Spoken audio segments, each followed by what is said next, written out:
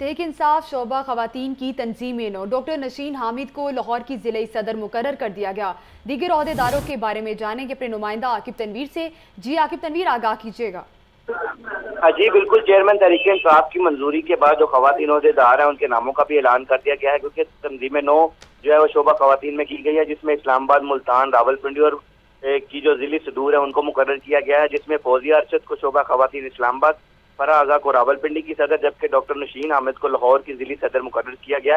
Bashira be be کو فیصلہ آباد، جبکہ قربان فاطمہ کو ملتان کی ذمہ داری جو ہے وہ سونپ دی گئی ہے۔